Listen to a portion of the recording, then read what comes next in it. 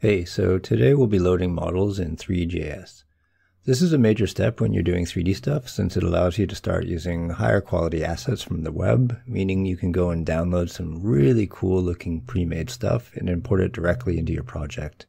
Or you can build your own, assuming you have some art skills, and load it up in your project. What we'll cover today is loading and displaying a model in Three.js, I'll show you some great sites to get free resources, and of course we'll cover using Blender to model something, export it, and then loading the model in Three.js. We'll also cover how to load and display an animated model. Alright, sound good? Let's do it. First things first, let's cruise on over to the Three.js site and see what formats they support.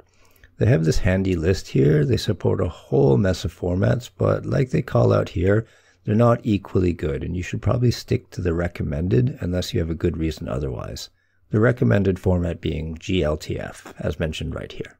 So let's look at some code. I've got this empty project that I've already started. You can see that I brought in all the setup code from the last project, and I already have a test model called rocket.gltf.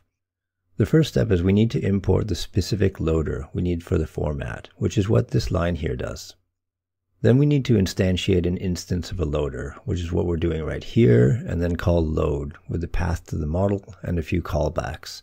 You need to specifically supply on load and optionally supply on progress and on error. This works fine as long as you minimally supply on load. The other two are, like I said, completely optional. When this runs, we can drop a breakpoint in the onload handler and see that the parameter passed in has a scene member, which we can directly add to the scene by calling scene.add object.scene.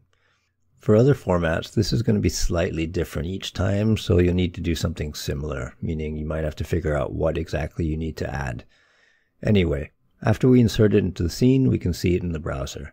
There, we've loaded a static model. Let's walk through the process of getting one from either a website or Blender. I'll fire up Blender here and we'll quickly model something. Maybe just mash some cubes and shapes together, I don't know. Uh, it doesn't really matter since this is just showing the process. Also, I have no art skills whatsoever. Once we do that, you just need to go to the export menu here. Most of the defaults here will do just fine. Just select the name and you're set. And of course, we can change the code to load the new one, and it works like expected. We get whatever the hell this is. I said that we'd also cover where to get some good free stuff. Uh, one site I like is Sketchfab. You need to make an account, but after that, you can go and search for whatever you like. Filter by downloadable here just to clear up the list a bit.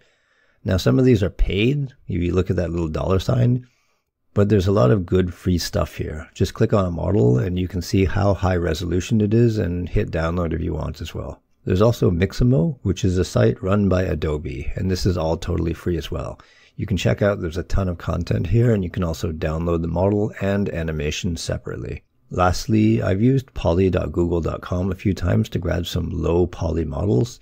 You can check it out and see if there's anything you like, and of course download in a few different formats. Now let's go grab one of those fancy Mixamo models and I'll show you how to load them. First, find one we like. And there's a lot of cool choices, like look at this dude, he'd probably make a pretty sweet zombie game or something. Anyway, browse around. Ultimately, I settled on this little guy here with the shoe sticking out of his head. You'll need to download him. I download the FBX in T-pose first, and all that means is he's just standing there with his uh, arms straight out. Then we go and find some suitable animations. Again, so many to choose from. Uh, let's just pick something basic for now, hit download, and I choose uh, without skin since we downloaded the model separately already. Now that we have the model, let's look at the code. First thing we need is to import the FBX loader, which this line does.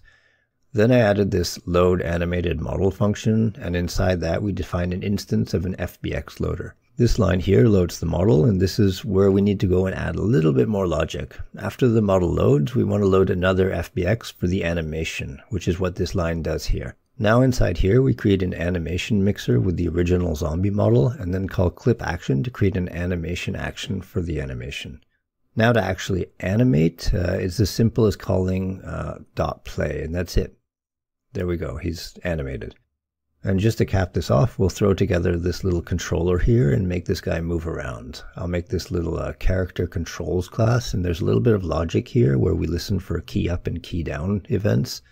And as you can see, we just move forward and backward and turn left and right based on that.